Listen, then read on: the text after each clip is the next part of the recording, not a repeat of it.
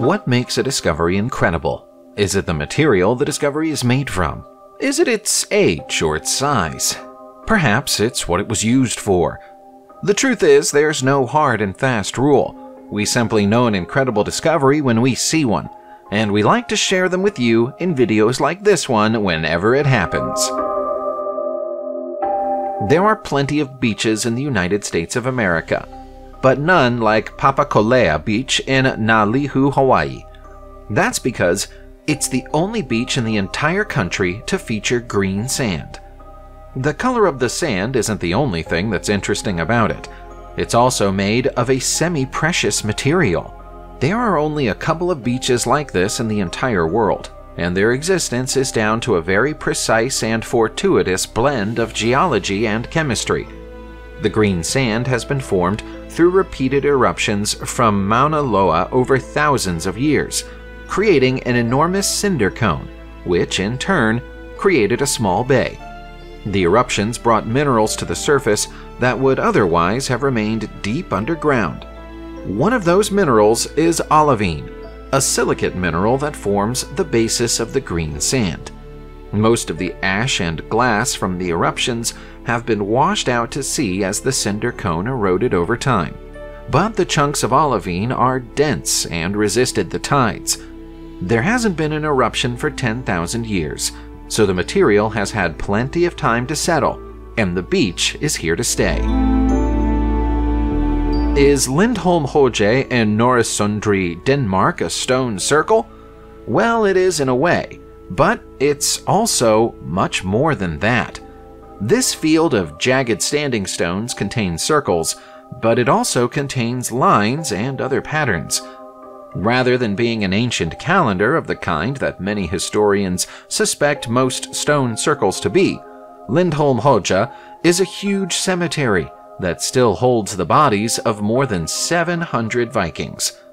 The first burials here actually took place in the early 4th century, long before the start of the Viking Age, but they became more frequent during the Viking era before suddenly coming to an unexplained halt in the early 10th century.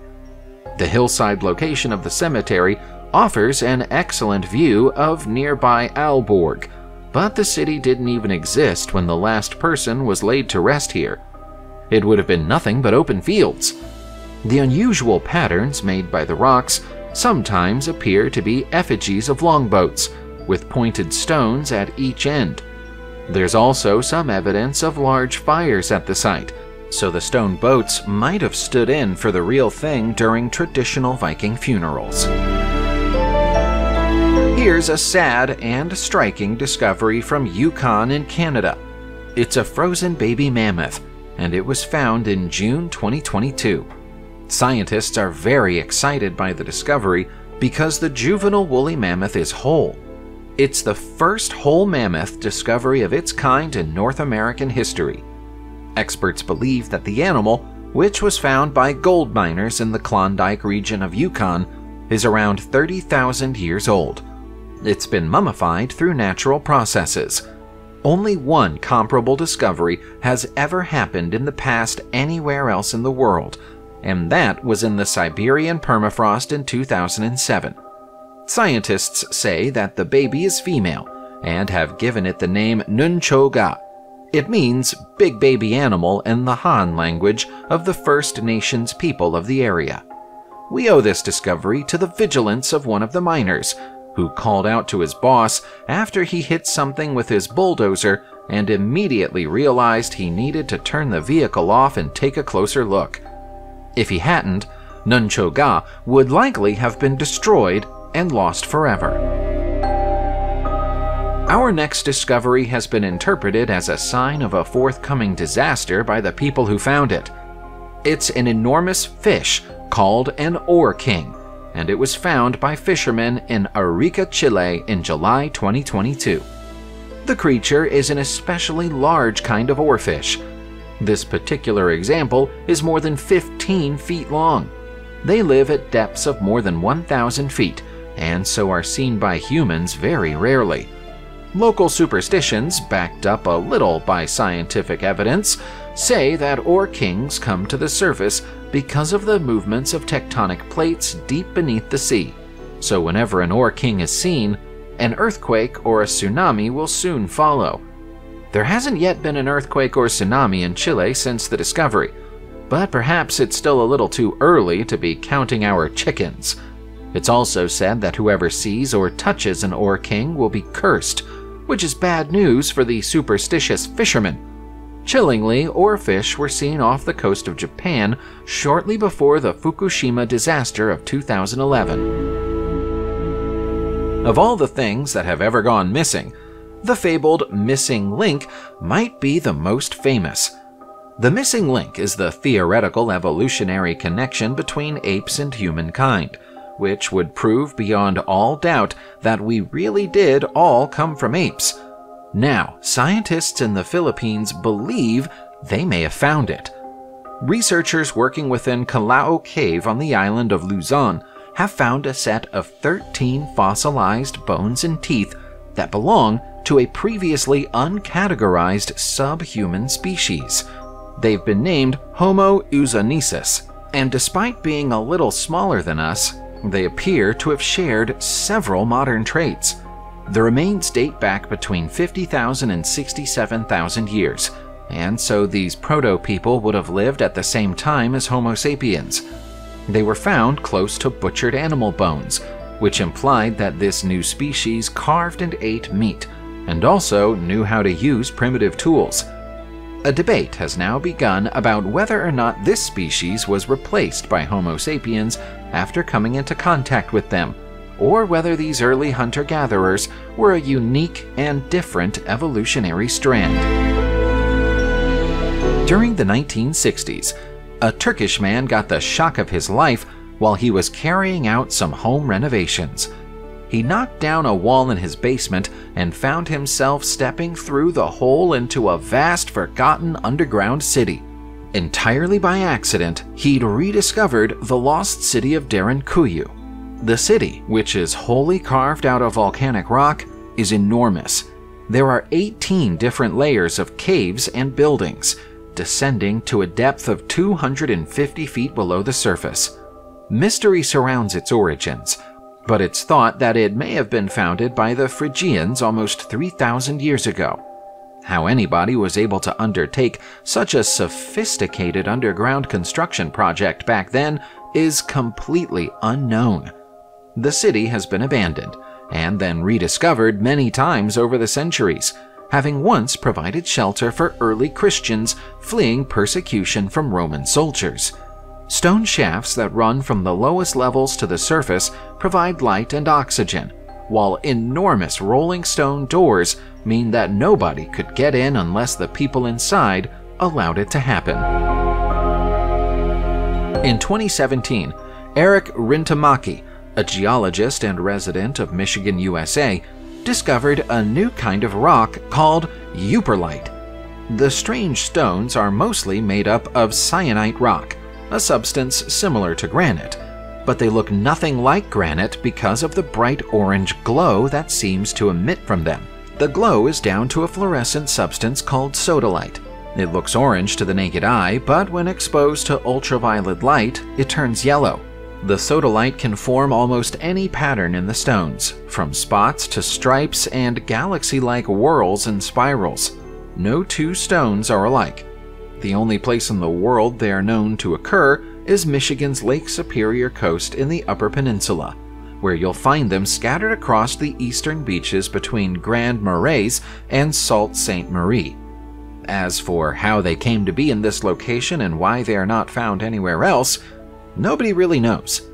It's been speculated that they came south from the Coldwell Alkaline Complex in Ontario via continental glaciation before finding their way into Lake Superior. But if that were the case, we'd expect at least some of them to still be in Ontario. In May 2022, a man out walking on a beach in Ireland found a strange creature washed up. He took pictures of it and then turned to the internet for help identifying it. Despite keeping his name and the precise location of the beach a secret, the story made the national news in Ireland. Members of the public struggled to identify the creature, but so did scientists. Before anyone had a better idea, it had been nicknamed the Forbidden Churro. While it might look like something from a science fiction movie, the most likely explanation is that it's a greater pipefish. That's the most common theory of marine life experts who've studied the pictures, although it's also been speculated that it might be the tail of a sea scorpion, part of a stingray, or maybe even a badly dehydrated needlefish. Despite their name, needlefish tend to be thicker than the creature we see here. Pipefish belong to a subfamily of smaller fish connected to the sea dragon and seahorse families, and tend to be small. But it's not unheard of for them to grow up to 18 inches long. This one appears to be even longer than that. Asteroids come in all shapes and sizes, but astronomers had never seen one that looks like the celestial body that's now known as Cleopatra prior to September 2021. The unusually shaped 160 mile long asteroid has been compared to a gigantic dog bone and is currently part of an asteroid belt orbiting the Sun between Mars and Jupiter. Cleopatra might not be enormous by the standards of some asteroids, but it's large enough to have two tiny moons in orbit around it. According to Franck Marchis, an astronomer at the SETI Institute in Mountain View, USA, there isn't another object in our solar system like it. Astronomers first noted an unusual looking object in the asteroid belt around 20 years ago, but it wasn't possible to gain detailed images of Cleopatra until far more recently. We also now know that it has a porous structure and a metallic composition, which means it was most likely formed when material reaccumulated after a colossal impact, perhaps even another asteroid hitting another celestial body. Its moons might even have been created by material that's escaped from the surface of the asteroid as it rotates at a near critical speed. So much has happened since November 2020 that it already feels like a very long time ago. For that reason, you might have forgotten about the metal monolith that turned up in the red desert of Utah and captured the attention of the whole world. While it initially seemed like the monolith had appeared overnight, a subsequent examination of Google Maps proved that it had been standing since at least October 2016. As soon as it was noticed, it disappeared again, before eventually ending up in the hands of the U.S. Bureau of Land Management. The mystery surrounding the Utah monolith prompted literally hundreds of copycats, with several other U.S. states and many European and South American nations eventually getting monoliths of their own none of the copycats attracted as much attention as the original. The origins and initial purpose of the monolith remain unknown. All we know for sure is that it was smooth, well made, 12 feet tall, and made of a material that kept its shine despite four years in the desert. There have been suggestions that it might have been erected by John McCracken, a minimalist conceptual artist who once lived in the area but the deceased artist's family think it's unlikely. Returning to the topic of amazing discoveries in outer space, astrophysicists announced in July 2022 that they think they've finally pinpointed the source of high energy cosmic neutrinos. They were previously considered to be one of the universe's great mysteries, but it's now thought that they come from a series of linked galaxies containing blazing hot nuclei known as blazars.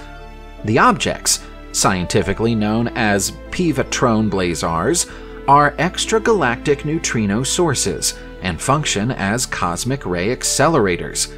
Neutrinos have a mass of almost zero, are electronically neutral, and interact with almost nothing else in the universe. That's why they're nicknamed ghost particles. Despite being almost impossible to observe, they're among the most abundant particles in the known universe. Normal neutrinos are produced by radioactive decay, for example, the byproducts of nuclear reactions that happen inside the Sun. High energy cosmic neutrinos are a million times more energetic than any neutrinos produced by our Sun, or even the neutrinos produced by any known supernova. They interact with so little that by using modern technology, we've been able to trace them back to their source because they travel in an almost perfectly straight line. In the case of the neutrinos that were studied in July 2022, those straight lines took us back to the nucleus of a huge galaxy with an active supermassive black hole at its center. In the summer of 2019, a farmer named Tom Giddens felt his plow strike something solid when he was working in his field in Sampson County, North Carolina, USA. When he got out to investigate, he found this battered, heavily eroded stone face. He immediately knew he was out of his depth, but understood that he might have discovered something historically important. That prompted him to get on the phone and call in the experts. But unfortunately, the experts he spoke to didn't know much more than he did, and they still don't.